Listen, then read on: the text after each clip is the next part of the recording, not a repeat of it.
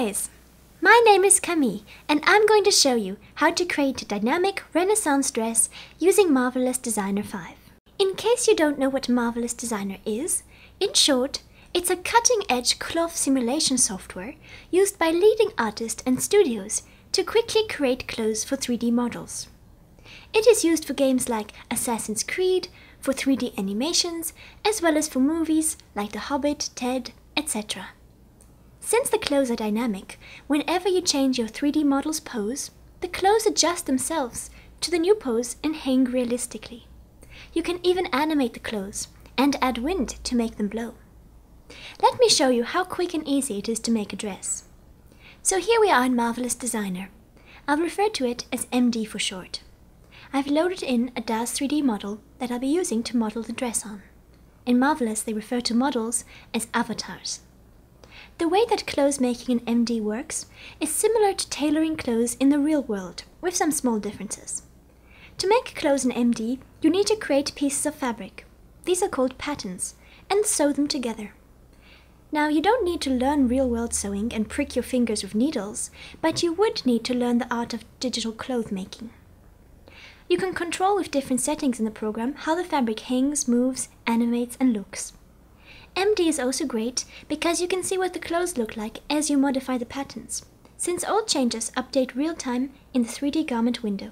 Since some of you may be beginners or not know MD, here's a very quick introduction. This here is the 2D pattern window, where we will be creating our patterns. All these tools up here are for creating patterns, modifying them, and sewing them together. To the left here is the 3D garment window, where we'll simulate our clothes to see what they look like. To the right here is a fabric pane, where we'll add fabrics as we need them. And down here is a property editor where you can change all kinds of settings from color to texture to physical properties, particle distance, seam folding, folding internal lines, thickness of the fabric, elastic settings, etc. etc. We're not going to get into all the features and settings of MD in this tutorial, so if you're a total beginner, I recommend you first learn to use the software properly. Alright, now that I've explained a bit about making clothes in MD, let's get down to making a dress. The dress is going to be made of several pattern pieces, several for the shirt, then for the skirt, for the sleeves, it's going to be a few pieces. So to start off with, I'll create the shirt. To create the fabric for the shirt, the pattern piece, I'm going to take this tool here. All these three tools are for creating patterns. These tools are for sewing, you can see the, the sewing machine there and these are for creating curves and this one's for creating points. So I'll take a rectangular pattern tool and then I'm going to click with my left mouse button and drag down a rectangular, something like this. Then I'm going to switch to my edit pattern tool, which allows me to grab individual points, these are called segment points, and transform them. Holding down shift, I'm going to drag it upwards, something like that. Now I need to create an opening for her neck and an opening for her arm to come out. So I'll take my split line tool in order to add some more points. I'm going to add a point here somewhere at around 50 to make it an exact number, which will make it easier to sew things together and just to keep it a nice clean number. I'm going to right click and then type in my length that I want it to be. And then I'm going to add a point here at around 170, right click again, and type in 170. Then I'll take my edit pattern tool, grab this point, and holding down shift, I'm going to draw it down to make an open cut for this dress. Then I'll hold this point and draw it down slightly as well. Now I'm going to take my curve tool and curve this in and curve this slightly too. Something like that to begin with. Then I'll take my transform pattern tool, select the whole pattern, Control C to copy it, right click and symmetric paste it. So now whatever changes we're going to do on one side will reflect on the other side.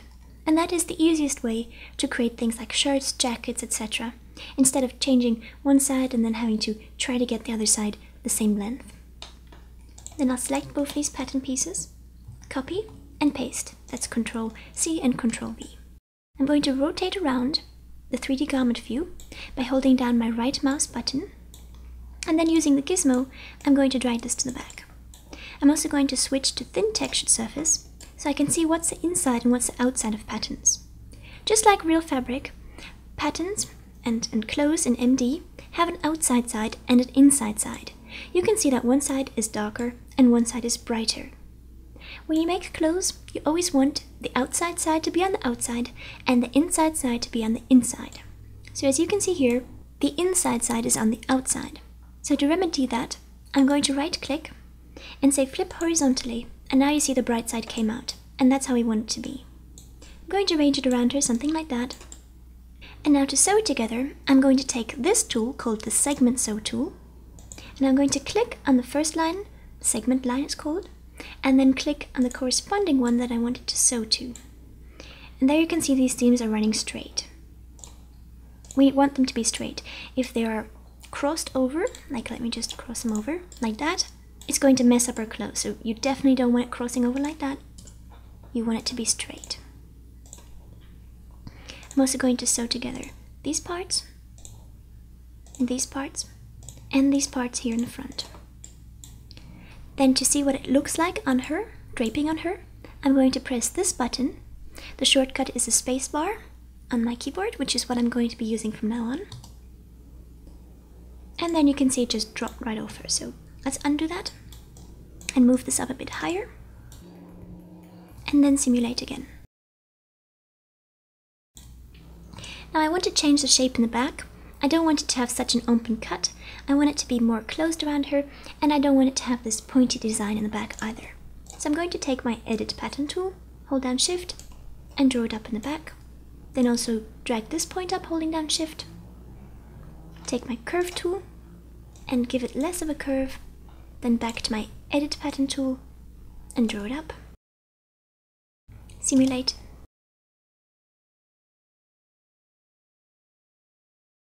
As you can see here, it's sort of sticking out the fabric. I'd like it to be curved like that. So all we need to do is curve it in more in the back. Now I think I need to make the shirt a bit longer and I also want it to be skin tight to her, like a skin tight bodice. So the first thing I'm going to do is select this line and this one, hold down shift and drag it down, something like that. And then to make it tighter around her, not so loose, I'm going to take this point and this one, hold down shift to select two points, and then holding down shift, I'm going to draw them inwards. And there you can see it's much tighter. Now most likely you're going to want to have wrinkles in most of your clothes, but sometimes when you want to have a skin tight bodice, then big wrinkles like these are not very attractive. So to get rid of those, I'm going to click where they are, around here, and then we're just going to curve this part in. So for that, I'm not going to use my curve tool, I'm going to use my curve point tool, which gives me more control. And I'll add a point here, and then I'll add a point where I want to curve it in, so that it only curves here and it doesn't curve too much up there. And that's better. Now we can do a similar thing in the back as well. Click here, and then curve it in a bit here. And that takes it in a bit. And if you want it to be even tighter, then just curve it more until you don't have any fabric wrinkles at all. But I think it's not too bad to have some fabric here. Next, I'm going to make the skirt. So for that, I'm going to select these patterns here, right click and de deactivate pattern only. And now I'm going to make her waistband. So to tell how wide I need to make the waistband pattern, I'm going to take the measure tool, click once here in her belly, and then click again and drag around until I get a circumference measurement. So it's about 560, something like that. So then I'll take my rectangular pattern tool, I'll click once and make the width 560 and the height I'm going to make 50. That's a bit too tall, let's make it actually not so tall. Hold down shift and just draw it up. Something like that. Then I'll press Shift F to bring up her arrangement points. And if your model doesn't have arrangement points, then you have to make some for your model. And what these arrangement points do, basically, they allow you to wrap patterns around the body. So I'm going to select this waistband here, click this point here, and then you can see it becomes curved as it wraps around her. Shift F to hide them again, and then just bring that closer to her. Take my segment sew tool and sew these ends together, simulate, and there we've got a waistband. Now to make sure that it stays in place and doesn't get pulled down by the weight of the heavy dress that I'm going to be, heavy skirt that I'm going to be sewing onto it, I'm going to select it and just turn on elastic and just lower the ratio bit and raise the strength. Something like that, that should hold it in place. Now let's make the skirt. So I'll take my rectangular pattern tool and then using my rectangular pattern tool, I'm going to click once and make the width not exactly half, but something like that, a bit more than half, something like 300 and the height 500. Let's make that longer. So using transform tool, I'm just going to drag that down to the floor and that's going to be the front part of the skirt and then I'm going to copy that, right click, symmetric paste, and that's going to be the back part of the skirt. Then I'll take my edit pattern tool, select this point here, hold down shift and select this point here, and then holding down shift again, I'm going to draw out, out, out, out, out, to make the bottom of the skirt wider.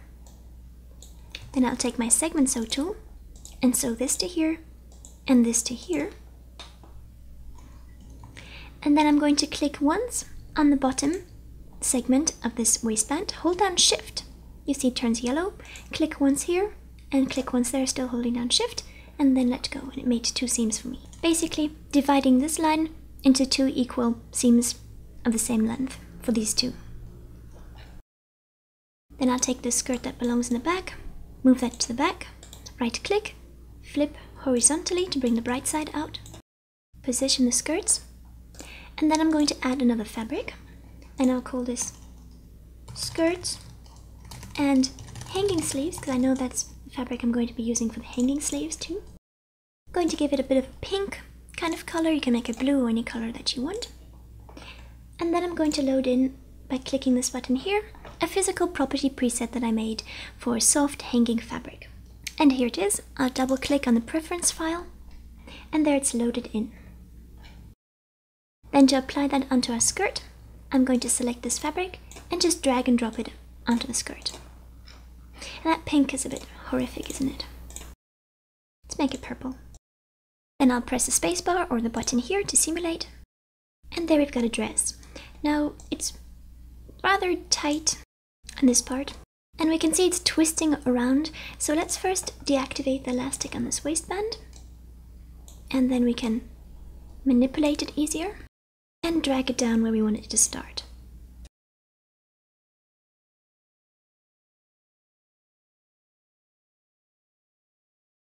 Alright, something like that. With the elastic turned off, if we look from the side, we can see that this waistband is sticking out because it's too wide. So I'm going to select it with my transform pattern tool, click the middle pivot point so it turns orange, and then just scale it down Something like that, so it sits tightly against her without sticking out into the air. Maybe even a touch more. There we go. Now it's very smooth here and maybe that's the effect you want, but I want to see some more wrinkles, starting even from up here. So to do that, I'm going to select with my Edit Pattern tool. I'll select this point here, and then holding down Shift, select this point there, and then draw it out a bit. And then also make a lot more fabric on the bottom by making the bottom wider. As you can see, the more fabric that gets added, the heavier the skirt becomes and the waistband starts to slip down, down, down. So let's activate the elastic. Sometimes activating the elastic on the entire pattern is a good idea, and sometimes even just on one line does the trick. And I think we need some more fabric. But before I add any more fabric, I'm going to select the skirt, hold down shift, select this one, and lower the particle distance to 10 just so I can see it a bit better. When the particle distance is lower, everything becomes much prettier. You have more detail, you can see the wrinkles more distinctly, but it takes much longer to simulate, so while working on it, depending on how strong your computer is, you may want to work at either 20 or 15 or 10 if you have a strong computer. Usually when I'm finished and I want to export it, I take it down to 3 or to 5 in some cases even to two when it's something like a button that needs to be very smooth. Alright, so let's add a bit more fabric. Again, I'll select these points and just scale them outwards. Raise the particle distance so it goes a bit faster, and then simulate. And here you can see sometimes there are issues when the fabric sort of gets swallowed up into itself and you see the dark inner side coming out. just pluck at it and it should be fine.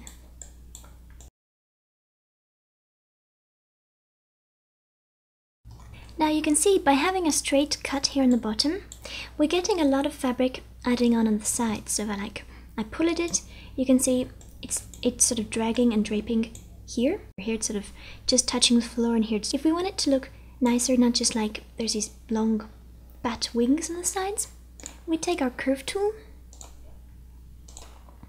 and curve down um, the front part and the back part or the back part separately.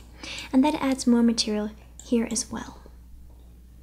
So then you can see we have also fabric lying down here in the front, not just on the sides. And I'm going to make them even a bit wider and touch wider here in the top as well.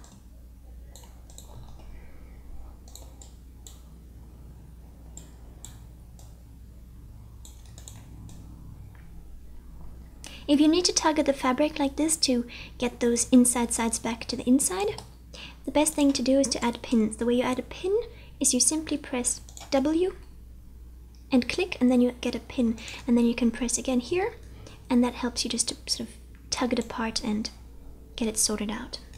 Control W to clear them. So here we've got a nice decent amount of fabric. I think that will do. Looks nice. Now let's activate our shirt again. So I'll select it and right click activate. Now you can see it's beneath the skirt, so to bring it out, I'm going to shift click on those two pattern pieces and just draw it out on top of the skirt and make sure that this one is out on top of it as well. And then simulate, and there it's on top now. So now let's make the golden decorative waistband. For that, I'm actually going to make the shirt a tiny bit shorter. Something like, let's see, like that. And let's just give that shirt a nicer color to match the skirt. We can use our color picker and pick something similar. Something like that. And then I'm going to add a fabric and this is going to be for the waistband. Then I'll click the load texture icon and navigate to my folder where I have my seamless trim. And here it is. I'll double click it and there it is, applied to my fabric. Now one last thing before we do the waistband. I'm seeing some fabric lumps around here. I think it would be nicer if the shirt was tighter. So to make it tighter, I'm just going to push this inner line inwards and then simulate. And that makes it tighter. And that looks better. Perhaps also a tiny bit tighter here in the back. There we go. So that's it for part one, guys. I hope you enjoyed it. And in part two, We'll create the sleeves, the draping sleeves, the decorative waistband, and refine our dress with some other details to complete it. If you want to know how to create all kinds of beautiful, dynamic 3D clothing, check out my Mastering Marvelous Designer online training program. It's 52 and a half hours long with a complete beginner's course and 11 clothes making workshops, where I teach you all you need to create gorgeous, dynamic 3D clothing. See you in part 2.